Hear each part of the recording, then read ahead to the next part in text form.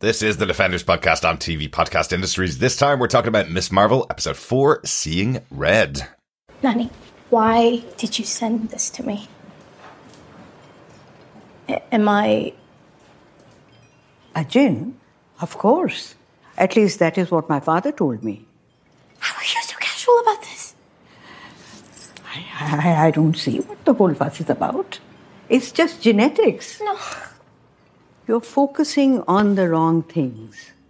It is not about how I see the vision or if you are a jinn. The important thing is that when the bangle was used the last time, it saved my life.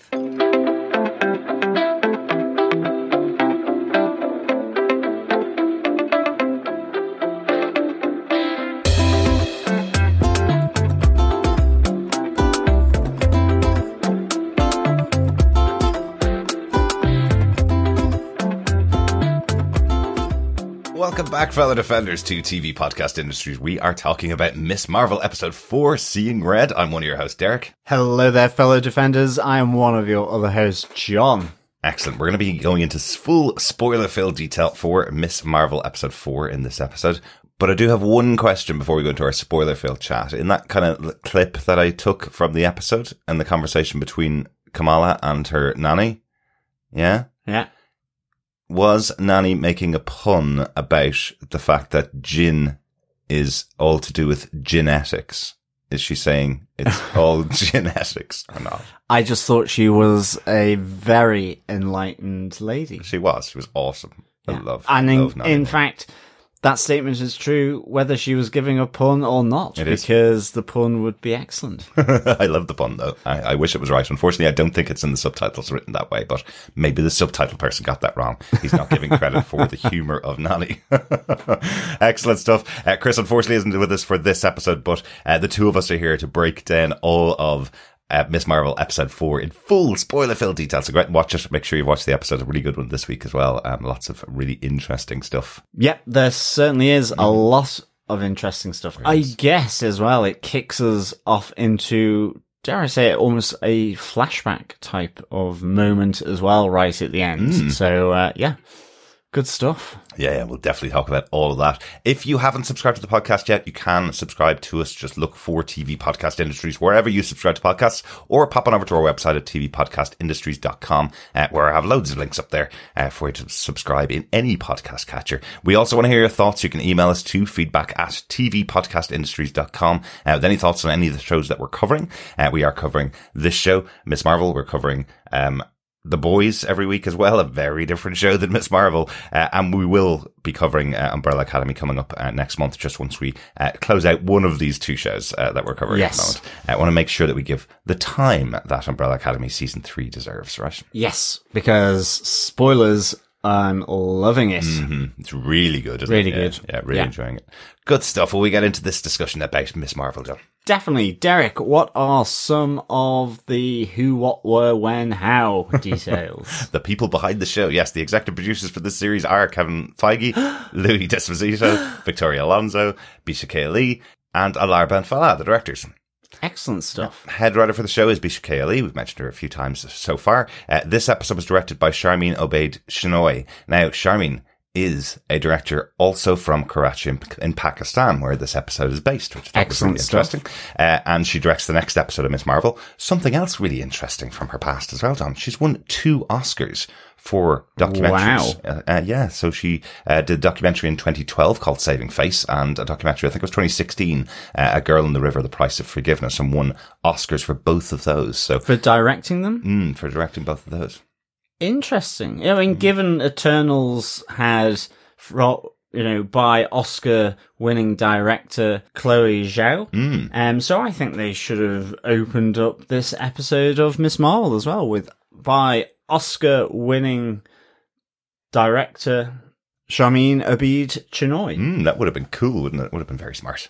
It would have been. Yeah, but very cool to have her on board for, for these two episodes. And again, one of the most, uh, I suppose, one of the most celebrated Pakistani directors. Yeah. Um, Good stuff. given, given two Oscars. That's awesome. The story for the episode was written by Sabir Pirzada. Uh, the teleplay was written by Sabir, AC Bradley, and Matthew Chauncey. We mentioned AC Bradley and Matthew Chauncey last week as being uh, two of the writers on What If, and they uh, were co-writers on episode three of the show. Yeah. Uh, but Sabir Pirzada, we haven't spoken about him for a little while. And when I say a little while, I mean about six weeks. Yes. Uh, because he was a writer on three episodes of Moon Knight. Exactly. Uh, I thought I recognised the name. My memory isn't going. See, John? I'm not going senile. The things I'm saying are going into your brain, I think, is what you really mean. and staying, more importantly. That never happens after what fifteen years together. uh, I'm surprised at that, but excellent. So great to have uh, Sabir back on board, and you can kind of see the touches. You know, we're now in a foreign country. We have uh, battles going on in the local city as well within within Karachi here. Um, so interesting that he also wrote episodes that were based in Egypt back Yes. in, in Moon Knight. Yeah. So that's quite cool, isn't it? Good stuff. Excellent. Well, John, do you want to tell us what they gave us with your synopsis for Miss Marvel episode four, Seeing Red? Sure. Following a hidden attack by the Jinn at her brother's wedding, Kamala Khan and her mother, Muneeba, travel to Karachi to visit her Nani and cousins. Kamala is hoping to learn more about the origin of the bangle and her great grandmother, Aisha, from her Nani. While there, she meets Kareem and Waleed, members of the Red Daggers, who protect the Earth from the unseen and the clandestine. Waleed helps Kamala to focus her power and teaches her of the clandestine's true plan to break the Noor border between their dimension and ours. If this power barrier is broken, our world will be destroyed. After breaking out of the Department of Damage Control's Supermax prison, the Jinn leave Kamran behind, but also travel to Pakistan to find Kamala and retrieve the bangle. They attack the Red Daggers and Kamala in Karachi. In the battle through the streets of Karachi, two of the clandestine are killed along with Waleed from the Red Daggers. When their leader Najma faces off against Kamala, her weapon clashes with Kamala's bangle, sending her back in time to 1947 and the train that brought her Nani to Pakistan during the partition of India. Excellent. Now, I think that's what happened. We probably will only know next week for definite if that's exactly what's happened. Has she gone into a vision or has she gone back in time to 1947? At the moment, I'm just guessing, because of how the episode closed, that she's been sent back in time, right? I guess so. I think she has more, seemingly has more agency Hmm. uh, in this moment. You know, she's getting up on top of the train. Yeah. It's after Waleed has given us some further teaching on how to sort of deal with that power, Mm-hmm. but it comes from the clash of these two supernatural um, pieces of kit, effectively. So I guess that may be uh, one of the reasons for it as well. Absolutely. So we're going to have a bit of a Marty McFly situation I think so. to the Future. Well, and also, you know, we do get that inscription uh, on the bangle uh, translated by uh, Waleed of the Red Daggers saying, What you seek is seeking you. Mm-hmm. So, you know, I guess there's an element here of cat and mouse or chicken and egg Yes. or elephant and giraffe, whatever animal way you want to sort of deal with that concept. So, I've never heard that one before. no, I haven't either. I just made it up on the hoof. I Um, might just use it from now on. another animal uh, sort of expression. I like it. Yes. So, you know, there's that element here as well, which, Yeah. you know, does give the sense that Kamala has probably gone Actually gone back. to 1947. Yeah. Interesting stuff. We'll definitely find out about that next week. We're going to go into talking about the episode in full spoiler full detail. The way we do uh, this for Miss Marvel is talking about our top three marvelous moments from the episode. So let's start out with our marvelous moment number one. We are in Karachi in Pakistan. So uh, Kamala and Muneeba going to Karachi is our first point, really. Yeah, we certainly are. I think, interestingly, given what happened at the wedding, mm-hmm. given that on the flight there is the suggestion from Kamala's mother that she places the blame on Kamala, mm-hmm. it is also very interesting that she is on a flight to Karachi. It but it is. is is. dealt with, you know, she does, Muneeba, her mom does kind of justify it because her mother is insisting, her mother is mm-hmm. older, and so for this moment in time to allow her to see her grandmother Yeah. and her cousins, there is a truce here between the two. Absolutely. And it, you know, it is on the insistence of her own mother, Muneeba's mother, Yeah. uh, Nani, that this happens. Yeah. So, so you can understand it, and it is dealt with very quickly and and well. I think. It is, but I think as you also see throughout the episode, you do see that Muneeba will do anything for her mother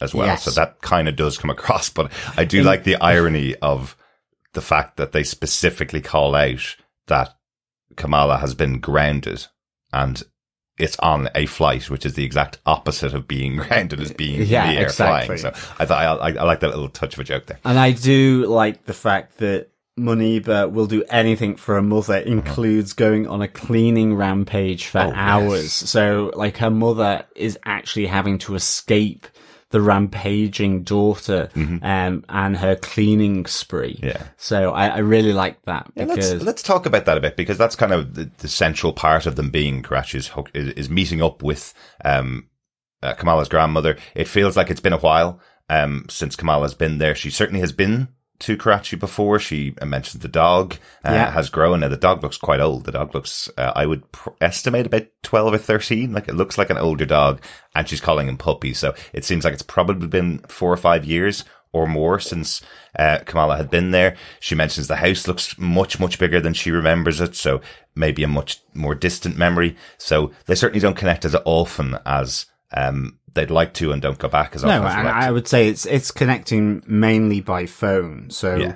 it, it is all those things. But I, I think this whole time in Karachi is actually it's really good. It's really important. You know, you start to get into you know the nitty gritty of the Khan family's history here by coming to Karachi, Mm-hmm. Yeah. seeing Nani, and you know, the, the, and there's some great little moments in here between um Kamala and Nani, Muneeba and her mother, uh, and then Muneeba and Kamala. Yeah. Um, you know, so all this generational talks and sort of the history of the family being sort of passed along or the relationships between one another. You know, there's that really nice moment from Muneeba, you know, as she is continuing her cleaning rampage and, you know, she's saying, well, all these toffee boxes are over the place. Yeah. And, um, her mom just says, well, they're the ones you liked. I got them for you. Um, I've just eaten them because you've not most of the toffees. yeah, because Yeah. you, you haven't been back Exactly. often enough. Exactly. Um, and you know, just the the chat about why Muneeba um left to go to um the to the USA. You know, it was she she just Mm. needed a change to get away because um they were being shunned because of uh, the crazy theories of my mother, of Nani. You know, her, her, her dad left and there were these crazy theories. It was affecting her, effectively social circles and, and neighbors and how she was viewed.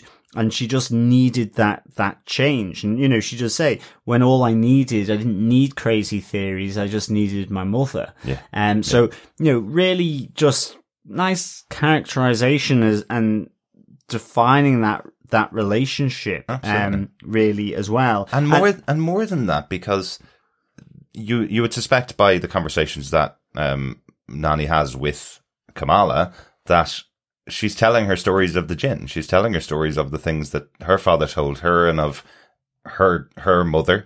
Um, and the powers that they have access to because she seems pretty plain and open with Kamala when she's talking to her about the history of the jinn and the genetics and the family. So I presume she had told that to her mother in the past, but Muneeba Yeah. is is very strict and very straight laced. She's not willing to take the flights of fancy that her mother were. And that does tend to happen in families, doesn't it? The most conservative parents tend to have the much more free children and the much more free parents have very conservative children. And it seems that that's what's happened in this ma- this family. It's jumped a generation and now we have a very exactly. flighty Kamala who would seem very similar to her grandmother. Yeah, I mean, but also Muneeba didn't have the bangle, as far as we know so far. Absolutely. But remember how we were introduced to Kamala in the first episode. She was head in the clouds, always thinking in, in fantasy land That's all the true, time. So, yeah. so she has that in her where it seems like Muneeba has fought against that. And I think that's part of that idea of her going around the house cleaning up and putting everything in its right place, Exactly. which is very much Muneeba's way of dealing with how she's grown up almost. She may have more of her father's side Mm. and personality. So I really like that. I love then how Muneeba, though, after Kamala has come back from the, the beach bonfire, Mm-hmm. shares those toffees uh, with Kamala, you know, and just has the laugh about they're so hard. You need Yeah. like strong teeth and certainly no false teeth for it kind of Mm-hmm. thing, you know? So I really just liked all these different, um, intergenerational chit chats that were going on, uh, between all the female members of the Khan family. I mean, the other one I really, really enjoyed was with, with Nani and with Kamala where, you know, Kamala is again almost saying, I, I don't understand everything. I don't really fully know, um, who I am or what I am, you know, figuring this out. And Nani comes and says, you know, my passport says Pakistani, my roots are Indian. Um, you know, and it's that people are claiming their identity based on an old Englishman, uh, fleeing from their country, you know, Yeah. referring to the partition. And, you know, she just says it's a big education even me at this age, I'm still figuring these things out. Exactly. It never ends. You don't suddenly have or know everything All about answers, yourself. exactly. You know, you don't have all the answers exactly. So, you know, I really enjoyed that conversation because it's it's just so kind of it feels to me just so real. Yeah. You know, and here I guess living in Ireland, Mm-hmm. you know, there is that idea of what is identity. Again, it's probably down to the Brits as to why that is, you know, that issue of identity is Yeah. so complex here in Ireland. Absolutely. Um, We still and- have a border at the north of our country. Yeah, yeah, absolutely. but as well with the Belfast Agreement in Ireland, it's that people in Northern Ireland could have the British passport Yeah. or the Irish passport because of the European connection with the European Union. Mm-hmm. I digress, but the point is that really kind of hit home to me Yeah. that element that that same idea of identity Mm-hmm. and and people are more open or more stringent about what that may mean. Yeah.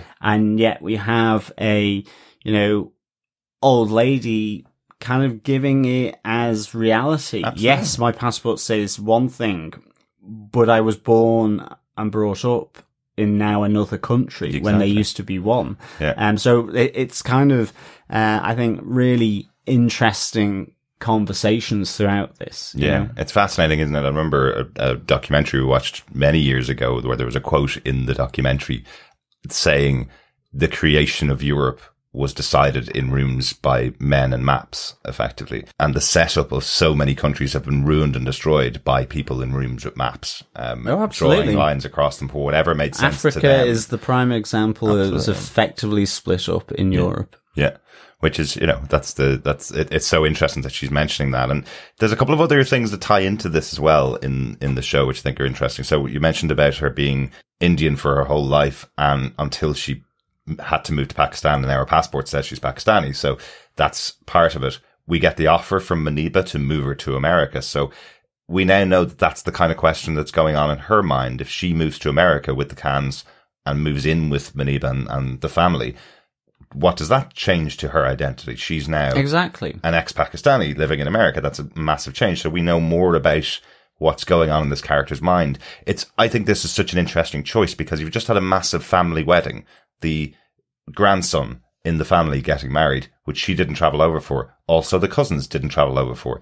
And it would be just absolutely standard in a normal movie or a normal TV show for to expedite that, mash it together and go, they all came over for the wedding. Exactly. And Muneeba and Kamala went back. But what you're doing here is saying we have one family, we have loads of people who traveled over, but they're not the only family in, in the Khans. There's more to learn. There's more behind them. And I think that's a really good impetus for the showrunner here to, to tell this really much bigger story about the, the wider world it adds, of the characters. It adds nuance, it adds complexity to the storyline. Yeah. Um, that is also important for this family and is more than likely replicated across a whole range of families that are split um, or, or separated uh, because of migration, however that happens. So it, it, you know, it's really important. Yes, it's only the Irish Sea, but Mm-hmm. you know, my family's in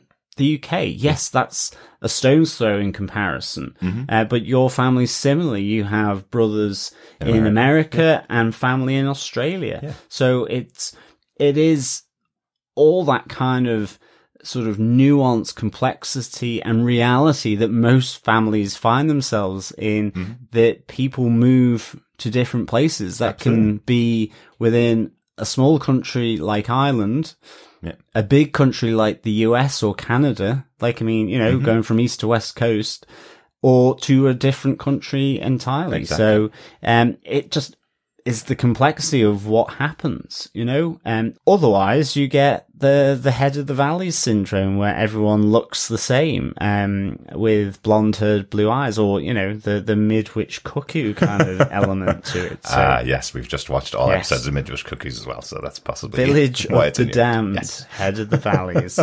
That's probably why that's in your head. Um, one of the things I really like about uh, about this as well is this allows an opportunity for Kamala to be fish out of water as well. So we've had it Yes. focused on New Jersey, we've had it focused on Kamala and her friends, her little unit. Then we've had the family unit that's all around them that uh, we're all setting up for the wedding, all the uh, the Illuminantes effectively, and now we have this moment of Kamala being taken out of all of that to discover who she is. But the people surrounding her, she doesn't know that well. Yeah. She's making new friendships. She's dealing with new people for the first, for the first time that we've seen her in the series, really, uh, trying to kind of make her own way, I suppose, which I think is a really good thing to do. If you're going to have a six episode series, you need to, you know, put more challenges or do different things with your characters. So she could have been the, uh, local neighborhood Miss Marvel. Um, but I like that already they're giving her another little adventure to have. Yeah, exactly. And I, I think as well the adventure of these these discussions. You know, I mean, no sooner has Kamala uh, arrived in Pakistan, she's met the cousins. I, I liked all that kind of little banter. You know, you had about the dog, but it was um the her her cousin who has grown taller. That he he comes he retorts back to her with. You're still small. You haven't grown at all, And you haven't grown at all. But, you know, as well, it is going straight in with that chat between N- Nani and, and Kamala as well, uh, because she needs to figure out, um, the bangle. What does it mean? Um, and again, it, it, it's to Nani's kind of openness here, uh, whether it's about the jinn, it's, it's genetics. My father told me, Yeah. um, or uh, just simply saying to Kamala, I mean, the two points that I thought were really, really nice, you know, that she's focusing on the wrong thing, that the bangle was last used for good. Yeah. It doesn't necessarily have to be evil because the clandestine ha- have said, uh, what they're going to use it for is potentially evil by trying to rip it away from it as far as she knows at the moment. But also, you know, in terms of trying to figure out the, the bangle, Kamala just says, I'm breaking more things than I fix. And I loved, um, the response. You know, Nani says, um, when you have lost what I have, you learn to find the beauty in the pieces, Pieces, which yes, love it. you know, as you see all these different pieces from her history that she's drawn, or Mm-hmm. the photographs that she's kept, or the little trinkets Yeah. in in that room of hers. And I thought that, you know, that to me immediately says Nani is an open and positive person. Yes, she's fought through adversity. She's had bad things happen to her. You know, her own daughter has left to go to America. Mm-hmm. You know, hasn't got that connection there yet she's able to keep that positive view of, but I still love my daughter and her children or whatever pieces of her. And I see them when I see them and so on, you know? So I think that's, uh, I thought that was really, really good. I mean, I think there's some really nice sentiments. Absolutely. Um, that are coming from this family. Yeah.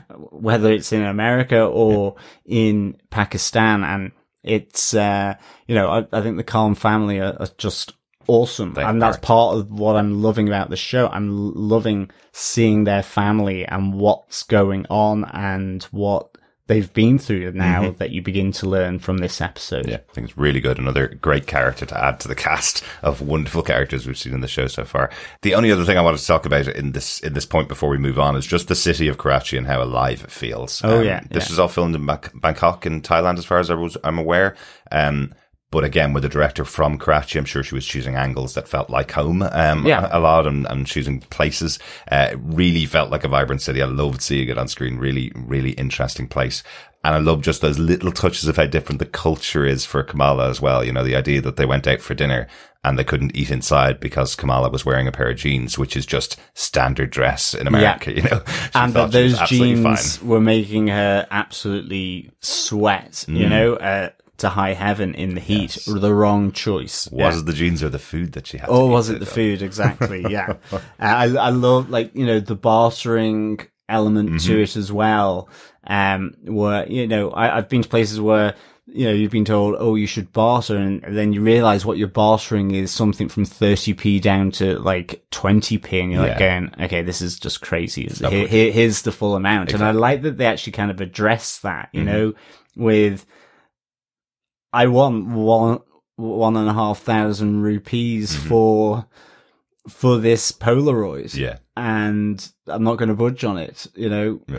Um, so I, I really kind of like that Yeah. element of, of not budging for the bartering. Yeah, it was really good, really good. I really enjoyed this uh, these moments in Karachi. So I think we're staying Karachi, maybe uh, with some of the cast next week, while uh, while Kamala's in uh, 1942, 47, um, Yeah. potentially. But uh, but hopefully we'll see more uh, of Karachi the the rest of the show because it's a really good a really good location, and we got almost like a travel um, documentary at times, seeing loads of different places there. We see the beach, we see the city, we see uh, the club uh, where they go to eat. You know, we there's there's a and we see the the uh, Yeah. the skyline as well in that great discussion between um, Nani and, and Kamala on the rooftop. I thought that was really interesting. It was really cool. So yes, thumbs up to Karachi for me. Absolutely. and I think it was really good, or this is what I'm assuming anyway, is that the title Miss Marvel was also in Urdu Hmm. uh, as well, um, at, in the opening credits. That's and right. again, I think flashes of it uh, on the graffiti in the end credits. Uh, so Not just that, the really scenery good. was changed from New Jersey, which we've seen for the first three episodes. Yes. It was all changed to Karachi scenery um, for the for the closing credits. It's another great touch showing yeah, it's almost almost a different show Yeah. uh, for this for this episode, which is really really good. So it was really, really good. Let's get on to our really good, marvelous moment number two. Really good job. Where we are meeting the Red Daggers. Yes, another bonbon for uh, Kamala to get her teeth into. If Ah, the toffee isn't too uh, tough, I guess. I like it. I like it, John. I like it. Um, yes, another. Uh, we're, are we on to a love quadrangle now? I guess so. yeah. Um, I guess I would be if I was in Kamala's position. Absolutely. Uh, yes, Kareem here. Now, there's a slight disconnect here, um, exactly on the red daggers for me, because I'm not sure this is fully explained, but in comic books, red, the red dagger is a character. Yes. One character. Here, Kareem seems to intimate that the red daggers is a society.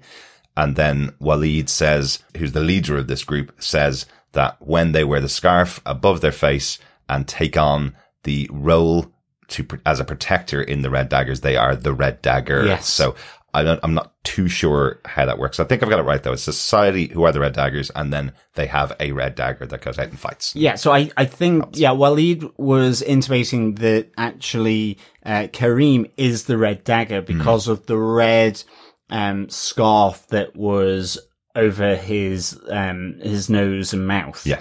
Uh, and he is the first one that we see with the red handled knives that he is throwing at our hero Mm-hmm. Straight uh, away. Kamala straight away, which was was really I thought was was really good. Just like the surprise, you know, Mm-hmm. because she she leaves her cousins to go to the train station because they're just like, uh, what? Okay, we're gonna go and have coffee with our friends. Now, in fairness, I'm with Kamala here. You'd be at the I, train I would be at the train station as well. Um, they're I'd be with you really, really kind of interesting places, dare I say it, for people as much as the locomotives. Okay. But I've uh, had, we do have a lot of photographs of train stations. We Europe. will leave that there, of Okay. course. We'll park that for some other time. I, I'm guessing The train But- podcast The train Podcast podcast, is coming soon. indeed, um, or the light railway podcast. Uh, anyway, All right. enough. Stop it, John. Stop it. um, so I kind of assumed that Waleed was saying that Kareem was the Red Dagger, Right. but at the same time, it was also in a, an organization that was known as the Red Daggers. So I'm guessing Waleed used to be the Red Dagger as well. That's what I So think, it's kind of the passing down of that mantle a bit. I know what you mean. It's not 100% clear on that, but it seemed to be both the organization uh, and grouping that did the work of the Red Dagger, and then there is the Red Dagger out in public ultimately. It's just the tech they have seems quite advanced for just two of them. That's that's all I was thinking. Is like, why would you need to have this amazing looking tech that they have? And we'll we'll talk about that in a second. But um, why would you ha- need to have that for just the two of them to talk over their to have their conversation? I think they're both high tech and low tech okay. because daggers, in furnace. Oh, sure, are relatively low tech yeah, certainly. here in that sense. But let's talk about that initial fight between Kareem and uh, and Kamala because I thought that was such a cool introduction. It to really the was. Uh, firstly, we have an, another Ant Man reference uh, in the show. This is where uh, Kamala's looking at the wall, and there's a, there's the whole um, kind of story of Ant Man, effectively Yeah. talking about inspira- inspiring people. So once again, Ant Man uh, playing a part in here. I'm now convinced we're going to get Paul Rudd at some point in in, in a post credit scene. Paul Rudd and um, Brie Larson uh, in that final post credit scene coming in to meet Kamala uh, would be very cool. Um, but they have this battle where. Yeah. Kamala is using her powers really well. This uh, this Yeah. idea of stepping up into the air, using her using her light powers, and then fighting back against him. She uh, she throws the uh, the the hard light fist at Kareem to try and uh, knock him off balance as well. There's some some cool moments in this where she's blocking herself from falling as well when he's smashing it with the daggers. Yeah, Uh, his really use of the knives to smash the, the, the, the crystal structure. Yeah. I loved how he kind of um horse vaulted over the hand that she said that she sends at him Mm-hmm. Yeah. and then runs along it towards her. cool. Um I love the fact that he's using real daggers. You know, Mm-hmm. like the I think it, you do get the sense he is after her, but then you um you know he's sensed the Noor, so That's he he can yeah. also do that Yeah. as well. Very interesting. But it, it seems like there's a, a not, you know, during the fight, there's almost a nice bit of snidey banter going on between them that also, um, carries on over. You know, you have, um, you have Kareem or the Red Dagger saying, giving out about her, what she's wearing and, and, and the, the, the eye masks and Kamala saying no one likes the outfit. Uh, where are you from? Um, New Jersey. And she goes, what makes you think that? Maybe I'm Canadian. Um, and so all these little, uh, jokes, but he knows about, um, Uh, sorry, about the bangle and Aisha. Absolutely, and quickly, of course, the reason why he knows she's from New Jersey is because it's written on her chest. Exactly, exactly. Yes. And Um, yeah. my favorite one, uh, because it's such a great line, is when they're spotted by the the station security, and he says, "Come with me if you want to live." Mm-hmm. You know, very dramatic, very. Uh, Terminator, Mm-hmm. uh, but then says, I've always wanted to say that, you know, and takes her to then the Red Dagger's hideout. And again, the final one, um, is that a Pakistani boy band, says Kamala. So, the, you know, the fight just had this really nice infusion of snidey banter, Mm-hmm. um, the fight choreography, um, and sort of how, how the Red Dagger here, Kareem, is using the crystal, um, structures that, Mm-hmm. uh, Kamala is sending out. I just thought it just was really nicely done and a great introduction to the Red Dagger or Kareem and, um, and potentially, yeah, um, a, a, a number two bonbon in the picture. Number three, John. Well, number three, Three. We don't you count out Bruno. That's true. yes. Oh my goodness. Yeah. Absolutely. So, uh, so we're, we are talking love quadrangle at the moment. Is where we're yes. we weren't before. We just said triangle. So yes, don't forget Bruno like we did. I never forget Bruno, John. I never forget Bruno. No. Um, although by the time she gets back, will he have gone to? Uh, He to may have Caltech? done. Yes, indeed. That would be an awful way to end the story with Bruno. wouldn't it? It really will be. would be uh, t- terrible. Hopefully they don't. We want to see Bruno again. Uh, love Bruno. But anyway, this is about Kareem. Um, loving the introduction of this character. It's a true Marvel, um, standard comics introduction when you have two allies that are both powered or have both uh, got abilities. You always get them fight to fight at the start and then they become friends. It's all, it's, it's just absolutely standard in Marvel comics. So I, I'm glad they were able to bring that into to the episode here. Um, I want to talk about one other thing in this, uh, in these sessions, I suppose, with Waleed and Kareem, um, because it feels like Waleed becomes almost a mentor to Kamala and her powers. He does give her Yeah. and impart some wisdom to her on how she should use her powers. Um, he talks about um, focusing it, talks about the reason why she's able to use the powers the way she is because she's connected to Earth much more than the, the Jinn are. She's able to use the powers differently than they are. It's completely unique for her than it would have even been for Aisha. So, um, I thought that was quite interesting that he's, he's talking to her, uh, about that and teaching her. Um, I love the passage of time here because it does feel like we've spent a few days together with them. Um, we've certainly seen her with Kareem outside of the, the times they've spent together teaching and learning with Waleed. Well, there's the Um, beach, uh, the Red Dagger Beach bonfire, Yes. where they, you know, have the nickname thing where Chemo or Kareem, Mm-hmm. uh, also mincemeat. Um, and then we, we get, um, Kamala's nickname of Sloth Baby. Yes, we do. Which we got from episode one as well. Well, Well, the little hint to the pub Yes. quiz from episode one. Ah. Yes, thanks, John.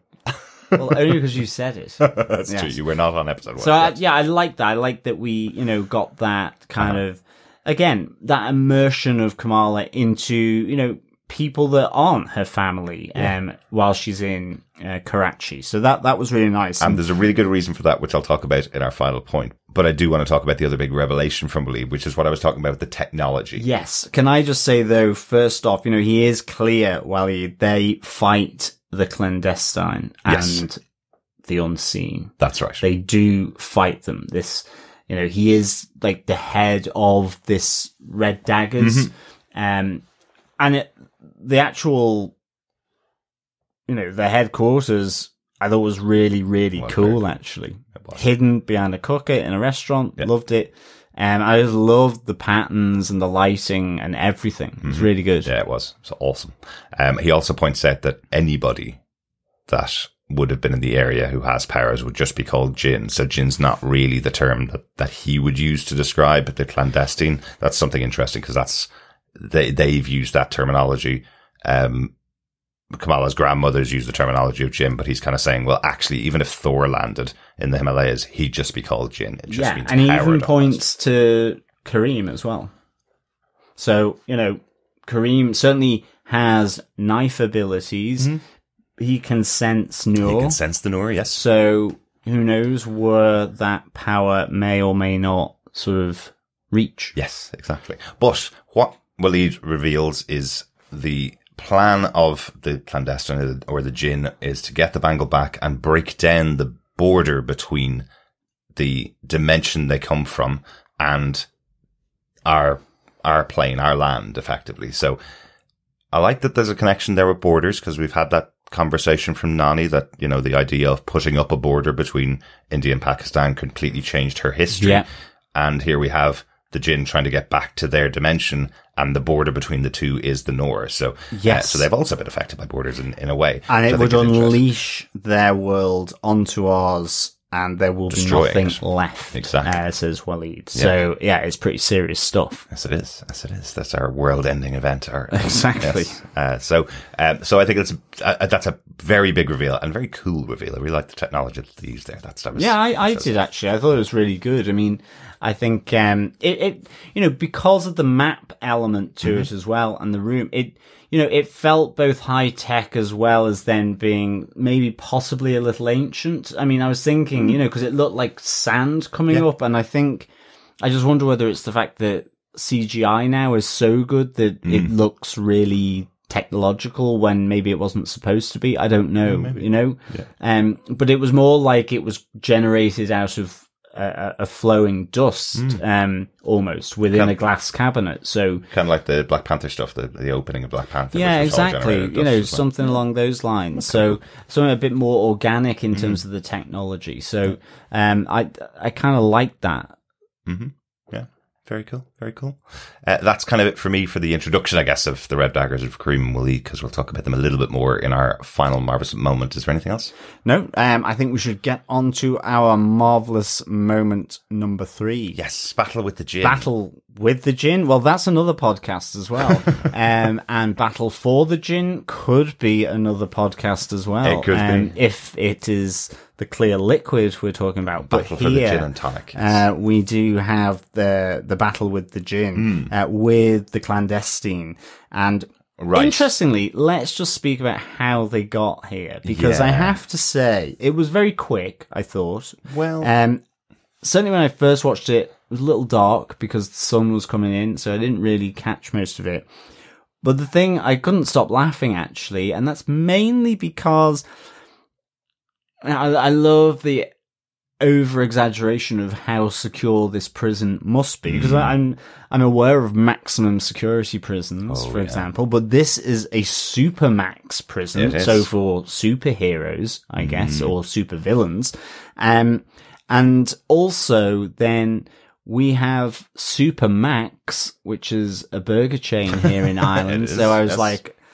Oh, it, it, it's a burger prison. It like Uh, Mac- you ham? Hamburglar would be in there, for example. be, yes. You know, and and then um, yeah, so I just had way too many things going on in my mind as soon as they flagged up Superma- DODC Supermax prison. well, the real comedy is directly afterwards when you now have people that they know are superpowered beings in regular pairs of handcuffs hanging out of pipes above, and that's pretty much all the secure Yeah. they have. I know they have a gun that It- can knock them out, but they didn't seem to be under too much. It didn't seem to be that Supermax No, as a prison. Like you would be almost expecting handcuffs a la Doctor Strange from the Multiverse of Madness that he Well, wore, you know, something like that.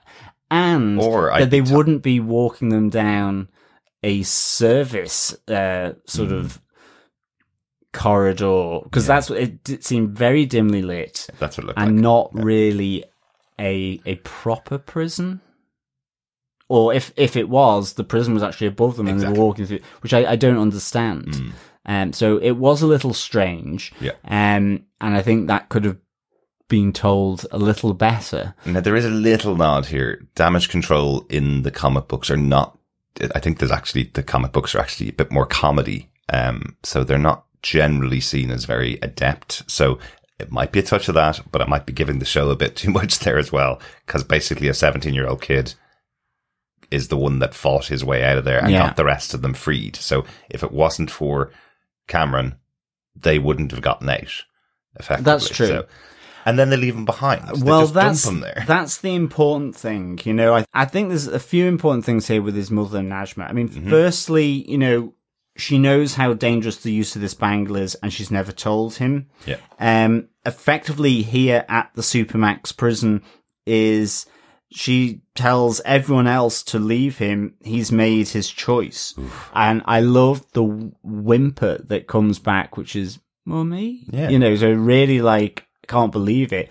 Um, you know, he feels that betrayal. I, I wish Mm-hmm. they'd kind of almost lingered a bit more on him on that actually Yeah. but also just the recap at the start of this episode, just the in terms of reminding us that she, you know, she says to Kamala, "Why would I help uh, people that have betrayed us?" Exactly. Um, whether that means Kamala or potentially Aisha, and her her great grandmother. So and Kamran now. and Kamran. So, you know, this is not looking good for Kamran. I mean, did he even get out? I'm expecting he will. He, I think he got out. Yeah, I think- I But think nonetheless, his mother is fairly, um, uh, shall we say, objective and distant about him. Well, exactly. Or, it, it, you know, her true colours are finally being revealed to him. Yeah, And I think the contrast here to what's just happened to Kamran has to be with, with Kamala's Yeah, family and how open they all are to each other and how, how much of a, a community that has become. Whereas one false move as determined by Najma means that's it, you're out, you're left behind as they fly off to another country, effectively leaving Kamran behind on his own. So, um, I was going to say that I didn't think it was actually fast because I think they did a great explanation with that passage of time, spending time with, um, the Red Daggers for Kamala and all the other uh, sightseeing stuff that she's done. Yeah. Effectively, they were just being brought into the prison, it looked like, and they escaped. So that's probably the day after the wedding. Yeah. And then we have a couple of days passage or a week's passage almost, and then they've arrived in Pakistan. So that moment of they've arrived surprise doesn't feel as quick as it may have looked on screen because we've had that passage of time with a full with a full experience of what Kamal has gone through in Yeah, Pakistan. exactly, So, exactly. I think as well, just one final thing of the crazy thoughts running through uh, my mind. I don't think- wi- believe that's right, with John. with Supermax Prison was there was a a, a UK quiz show. Um, in the 80s where they had Supermax game. So, uh, again, or don't put up trigger words to me because then I will think about various That was blank things. as he blank. John. Exactly. Wow.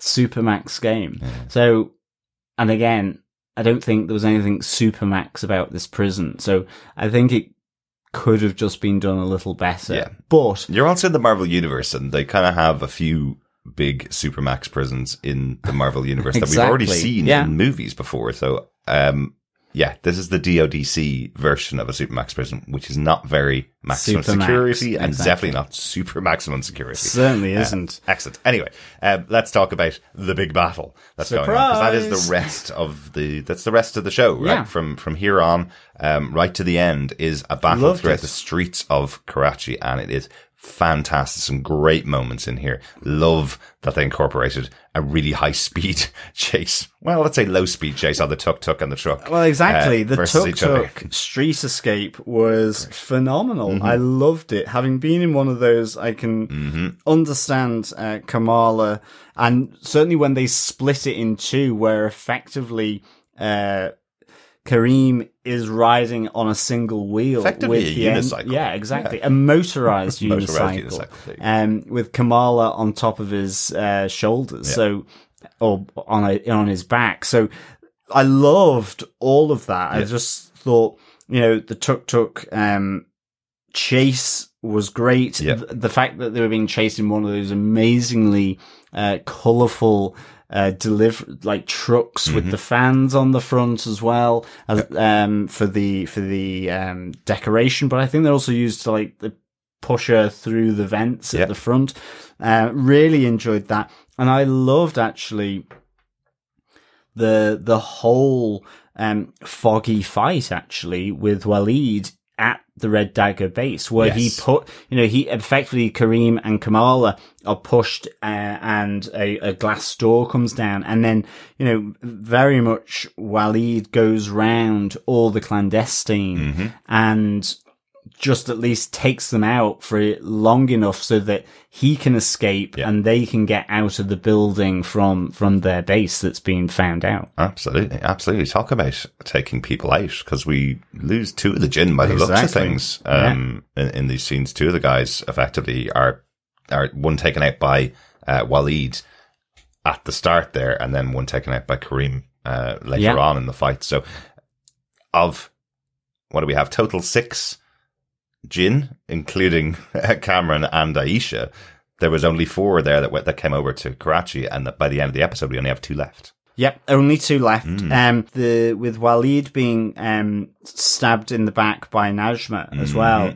I, I just thought the reaction of Kareem to that was really good. You know, kind of he realizes he's still got to keep moving, yet there's his mentor Yeah. or boss effectively um dead on the street and i just love the the quick thinking of putting the pressurized canister into the boiling oil So cool. you know, and it, it's sort of, sort of just distracting everyone, uh, you know, or, or hitting them. And so, uh, really like that, but I just thought the reaction wa was just really, really good. But ultimately, uh, yeah, you, you, you get this chase through all the streets, whether it's by tuk tuk or on foot.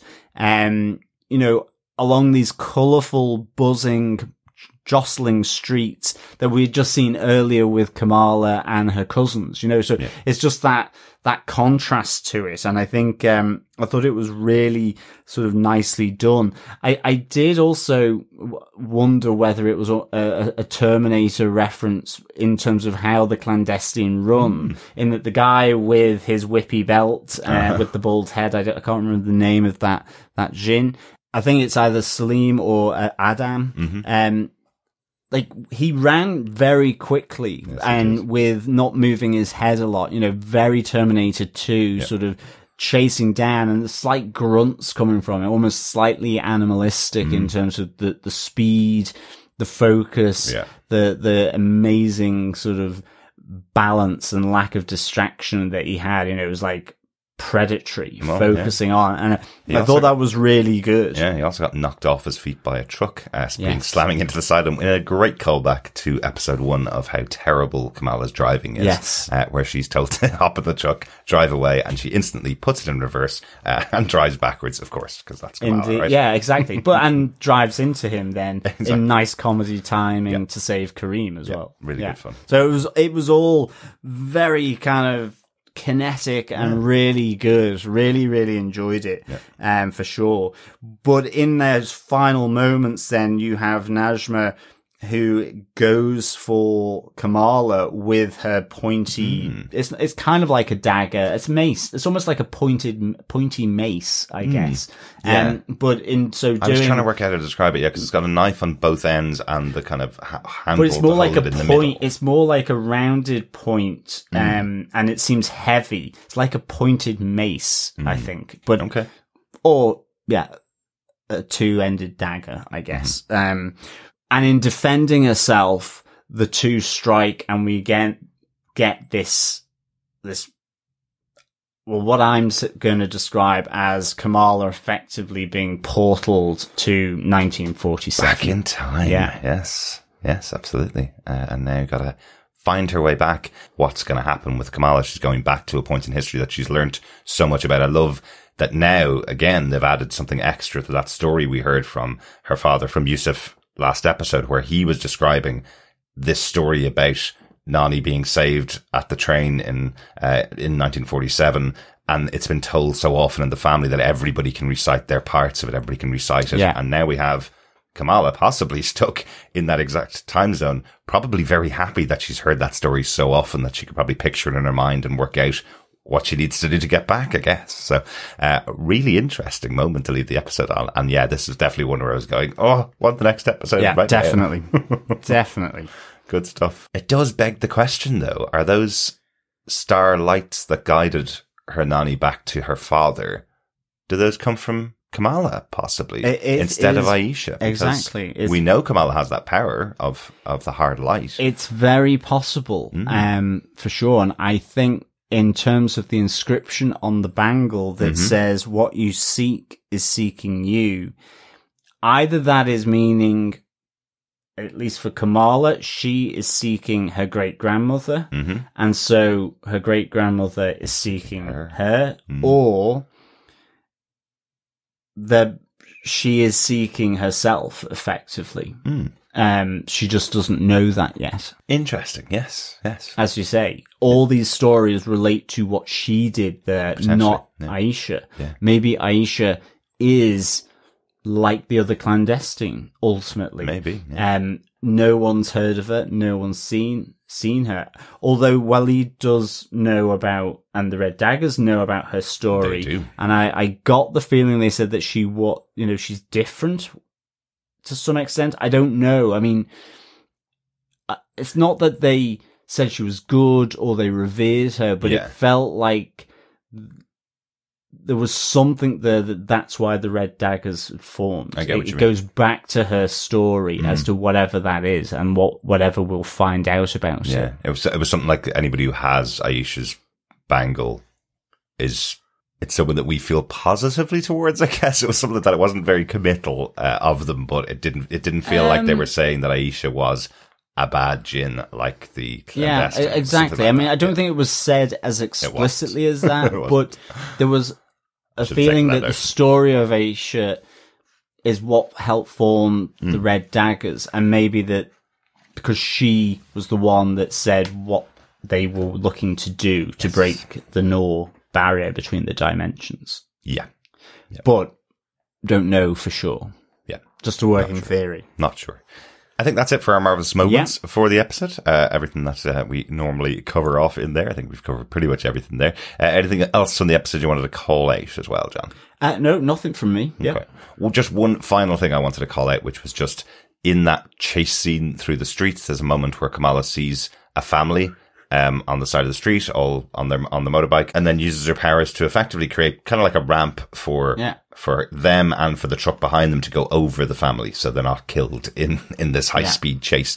Uh, that's something that that Kamala Khan did in her um her animated series. Uh, show effectively protecting a family from a, a runaway train, doing exactly the same thing, blocking them by putting a, a kind of ramp. Excellent so stuff. I just thought it was a little nod Yeah. to to some of the history of uh, of Kamala. So thought it was kind of cool to see that in live action. Excellent. Overall, John, do you defend Miss Marvel episode four, Seeing Red? I really, really do. I give this four and a half flying red daggers hidden teddy bear uh, out of five. um, yeah, I, I really enjoyed seeing the Karachi side of the family and all those different conversations. It just layered in so much more characterization, complexity, context, history to this really wonderful family that we've seen as well in the first three episodes in New Jersey. So I really, really enjoyed that. I loved, um, the, the Red Daggers. Fantastic stuff. Loved their hideout. Loved Waleed and Kareem as the two. Um, the just really just felt dynamic. It felt right. And Kareem's connection with Kamala. Um, you know, R.I.P. Waleed because really enjoyed sort of the, the time that he was on screen explaining, you know, given, giving the exposition, the explanation as to why the Noor, um, or the clandestine are, are effectively trouble here. Being that mentor as well to Kamala yeah. as well. Yeah. Being the mentor, uh, but also just, you know, the intrigue, as I say, it's not entirely clear. Is Aisha maybe the person that sort of set the seed for founding the Red Daggers? Is Aisha, um, Kamala's great grandmother? Is she like the other clandestine, like we, we're, we're seeing here, uh, with, uh, Najma, uh, and the rest of the unseen? you know, and the threat that they pose, the the the fights between Kareem and um Kamala was just really just really nicely done for like you know a dare I say it, a young person's fight. I know. I, Wow, I feel John. old.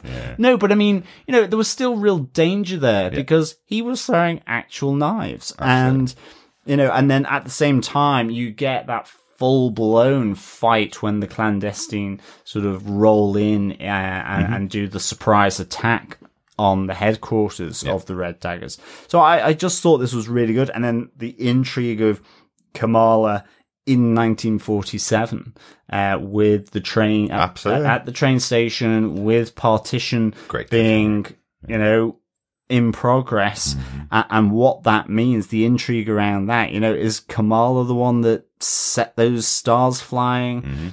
Was it Aisha? Does she battle Aisha effectively in this moment? Um, is Aisha trapped in 1947? No one's seen or heard of her since in some way. So right, yeah. loads of intrigue, lots of excitement, and can't wait for the next episode. Yeah. Um. So yeah, I give this uh, four and a half flying red daggers, hidden teddy bears out of five. Okay. I'm still trying to work out exactly what that means for the defenders, but I think I know. I think I know. It's a hidden teddy bear because it has another meaning and it will form part of the pub quiz. Ooh, oh, sorry, the slushy bar quiz. Yes. Yes. Derek, do you defend this episode of Miss Marvel? I do defend this episode, but you've gone through uh, most of the episode and we've talked about it uh, between ourselves. Nothing uh, particularly to add here. But I will say, if you thought the fight between Kareem and Kamala was really good, Iman Vellani was interviewed this week about uh, that fight, saying it took place in about 50 or 60 degree temperatures in Thailand. wow. And she was wearing that outfit what doing the so wearing the jeans and, and jacket and t-shirt. Oh, wow. And she Melt. said she said she sweated so much they had to change it after almost every punch of the fight. So um, it was a really tough fight to, and to, to film and a really tough uh, day they had. So I'm glad it looked so good on screen. Wow. Yeah. You know, when you when you pay the price in sweat, um, Yeah. it comes across, It right? was superb. Exactly. Good stuff. As you said, John, let's head on over to the slushy bar or maybe the golf club. Let's go to the golf club for a slushy. How about that? Uh, for our I think slushy would, bar quiz. I think we'd have to sit in the car park, and it was a boat club. it was a boat club. Yes, Yes, that's so right. I. I think uh, yes, we would have to sit in the car park if we ordered a slushy from either a golf club or a boat club. I think uh, they're probably more whiskey on the rocks kind of Hmm. venues, or you know, champers or something Not along for those Miss lines. Marvel. She's way too young for for whiskey on the rocks, John. Well, maybe, anyway, but, but not uh, the rest of her family. I don't let's think. get on to our pub quiz question for this week. Our Slushy bar our quiz. slushy bar quiz question for this week. John, what is question four? Question four: Kamala's flying teddy bear is actually what? Okay, So to repeat the question, Kamala's flying teddy bear is actually what? And when I say flying teddy bear, it was in the plane. mm-hmm. It was also referred to that by her cousin when they come up together out That's of right. bed to go to the boat club. So it is that teddy bear. I guess it would be a stuffed toy Yeah. or um in the for- in the shape of a sloth. Yes. So what actually is it? What what is the function what's real that purpose? Kamala without giving you the answer Mm-hmm. is fighting for them to realize Right. that it actually is and that it's not a teddy bear. Excellent. That's the fourth question in our slushy bar quiz for the season. Put all the answers together. Email us into feedback at tvpodcastindustries.com with all the answers at the end of the season. And you could be in with a chance of getting your hands on some Miss Marvel goodies. Yes. Enough clues, Derek? I think so. I think so. Excellent. What I do love is usually we ask these questions and then it seems like in Miss Marvel, the next episode really underlines what the, what the actual answer is. So, uh, if you don't know it, just go back and watch the episode. You'll definitely see it. This episode of TV Podcast Industries is brought to you by our supporters over on Patreon, including Angie Arhus. Thank you so much, Angie, for your support.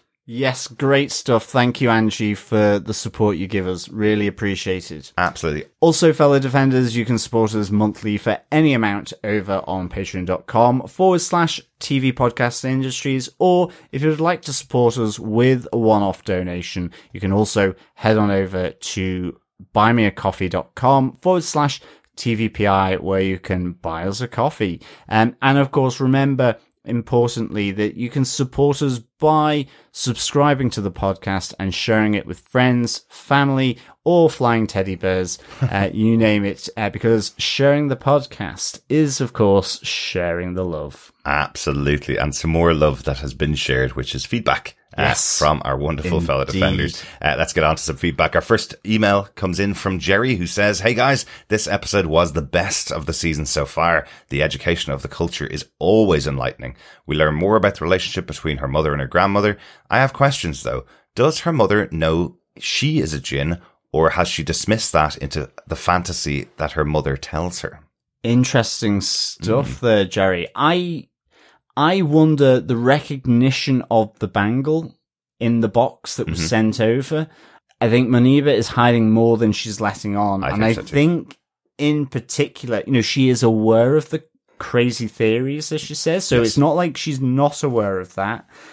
And I guess she's maybe suppressing it because if it is the case that, um, you know, as she says, she just needed that change because people were shunning her, looking at her strangely, needed to start that new life to escape that judgment, um, or from the community.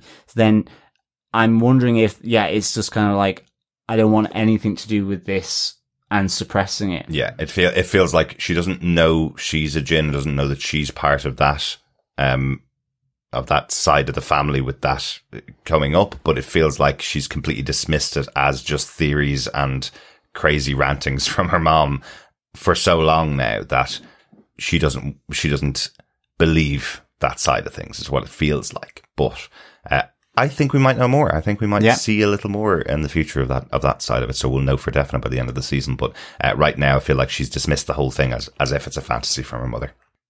Uh, Jerry continues. Kamala's grandmother is really wealthy. Is this something Kamala didn't realize? The Red Daggers. I wish we got a bit more information on them. There were deaths in this episode, lots of them Yes. specifically to reinforce the importance of the bangle. Overall, the sweetness of the earlier episodes has been replaced by red curry beef over rice. I have dread for Kamala. The partition is one of the worst events in human history that somehow does not get talked about much. Jerry in Niceville. Thanks for the thoughts overall, Jerry. Uh, really good to hear from you about, about this episode of Miss Marvel. Um, it's really interesting. I know Jerry's been kind of been giving his rating as he's been going along of, of the show and Yeah. not being for him, the sweetness of it for, uh, for the series so far. So interesting that, that with its one episode, it's kind of flipped and having dread for Kamala now as to what she's going to be going through. Yeah.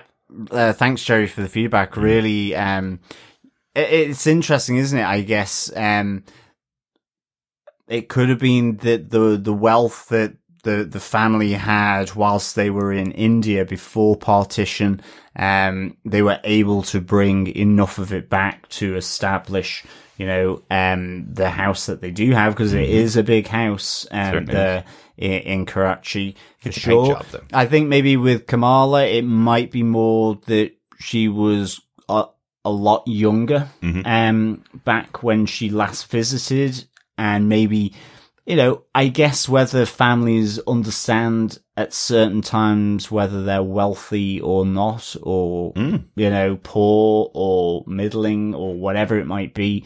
You know, it's difficult. It's only other people that really tell you that unless your parents are saying, we're poor, we can't feed Right. the kid. I get, do you know what I mean? It's like, it's, it depends, I guess.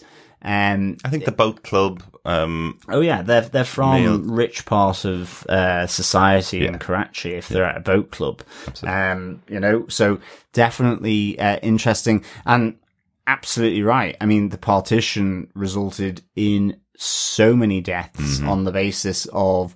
Um, I guess Nani uh, sort of says it best. Uh, you know, an old Englishman fleeing the country once um, India were gained its independence. So you know, really bad, and that's that's before all the other really bad things that happened whilst uh, the British were in India, like the famine, or just the very much divide and conquer element between the caste system Yeah. uh, and so on. So there's huge amounts of uh, pretty dreadful things that happened in in that country, uh, along with Kenya, along with Ireland, Yep. you name it. Uh, in Australia, in Canada, you know, um, dare I say it, attitudes towards Aborigines or First Peoples didn't materialize out of thin air. I guess that's you true. know. Thanks so much, Jerry. Yeah, thank you so much, Jerry. Uh, over on Facebook at our group at facebook.com forward slash groups forward slash TV podcast industries, Dr. Bob Phillips at sporting a Viking beard, I noticed uh, there on Twitter. Yes, in the the Viking capital of Northern England, Jorvik, or also known as York, um, says, Ooh, we're set up now with a tricky love interest choice for Ms. Marvel. British hunk with evil mum, but lives in the US. Mm-hmm. Or Pakistani smooth with big revenge energy, but not so easy to pop to visit. Assuming she can create the trail of stars which completes her own bootstrap paradox and find another crack in time and space. Dr. Bob. Thank you, Dr. Bob. Indeed, I dare I say it, Pakistani smooth with big revenge energy does sound like um, some kind of drink, maybe a latte that you could get. You know, it's nice and smooth, but there's a bit of a kick there at the end. See, I was thinking alcoholic. Well, uh, both. For a drink, and the revenge element is the wake up the following day, the yeah, hangover. exactly. yeah. If you've had too many, exactly. Interesting. Uh, interesting. Uh, Dr. Bob, you forgot about Bruno. yes. Bruno is the third one. He also lives in the US, doesn't have an evil mom, is already a part of the Khan family. Don't forget about was Bruno. about to have the, the, the slow dance, the Yes, close encounter when it was rudely interrupted by uh, British hunk with evil mum, but Mm-hmm. lives in the US. Uh, So yeah, there is Bruno. We've all forgotten about Bruno. No. In fairness, uh, Dr. have- Bob, I think you'll not. find you forgot about Bruno. In the love triangle at the start. I didn't. I called it I a did. quadrangle. I, Dr. I will Bob replay has- it to you uh, after we finish Poor recording. Bruno. That's all I can I did say. not forget about Bruno. He's my number one of the three at the moment, just because they've known each other for such a long time. But Kareem's getting up there as well. Kamran, if he didn't have the evil mom, is up there, but he's got that sa- that sad puppy dog thing now because and his mom's left him helped her. behind, and he helped her out. Yeah. So uh, they've all got their benefits. Uh, but no, uh, didn't uh, didn't uh, forget about uh, about Bruno. Thanks, Doctor Bob. Yeah, and we get the bootstrap paradox as Oh, well. Dr. Bob mentioned the bootstrap paradox. Yes, that's something about uh, time travel when you go back in time uh, to fulfill something that you know has already happened in the past. Yeah. Effectively, is apparently the bootstrap paradox. And So- hence, again, another reason why is it Kamala that sets the trail of stars Yes. for her Nani? that would be her bootstrap paradox It if I've got that would. terminology I right. so. Yes. Good stuff. Thanks, Dr. Bob. Excellent. Thanks, Dr. Bob. Uh, also over on Facebook, uh, John Daniel says, I really enjoyed this one. The red daggers offered the background I was hoping for. Kamala does so well with her powers this episode. I loved the fight sequences as much as I loved the conversations between her mum and grandmother. My only question is when she's fighting and about to fall but catches herself on the solid light, how is that any better than hitting the ground? It looks very, very hard. Um, yes, thank you, John. Um, I think I would, I guess at least in the train station, she wasn't falling too far. I guess if it's a much longer distance, she probably needs to do a, couple of them. number of them. And uh, she did do that with the kid who was taking the selfie That's right. off the the tower uh, at the mosque. I think she was probably trying to make sure she didn't fall on Kareem with his blade pointed upwards Yeah. at her. So, Maybe. so it wasn't just falling on the ground, but uh, but yeah, definitely not falling from a high height onto one of those hard But heights. certainly no soft landings guaranteed with the solid light. Exactly. And Exactly. kind of crystalline structure as well. So there's pointy bits to it as yeah, well. yeah. I, do- I do like the little gag there from uh, from Kareem going, "Where did you learn uh, your tricks?" Was it from Donkey Kong? Um, plat- platformer, effectively a platformer video game. It's just kind of going, but that's basically exactly where she learned them from. Exactly. good stuff. Thanks, John. Yeah. Thank you so much, John. Good to hear from you and good to hear from all the fellow defenders with your thoughts. We want to hear more from you for the rest of the season. Two more episodes to go on Miss Marvel. We will be back with episode five next week on Miss Marvel. Uh, if you want to send in any thoughts to us, just email us to feedback at TV Podcast Industries or as John mentioned, pop on over to our Facebook group at facebook.com slash groups slash TV Podcast Industries. Yes, and just as a reminder, fellow defenders, we do have a change of pace in that we are covering The Boys season three as well over on our main feed. And the penultimate episode is out this week as well, It is. which is on Friday, the 1st of July. Yes, it does. And we've seen it. And uh, another shockingly good episode of The Boys as well, if you're into the show, let's say. yes. And I cannot wait to begin talking about the Umbrella Academy season three as well. Yes, get watching that, get sending in your feedback for that, and we will be back with you uh, in a couple of weeks' time with uh, with our coverage of the Umbrella Academy. Thanks so much for joining us. We'll talk to you again next time. Yeah, thank you so much, fellow defenders, for joining us. Really good as always, chatting with you. All things about Miss Marvel. Remember, keep watching, keep listening, and of course, keep defending. Bye.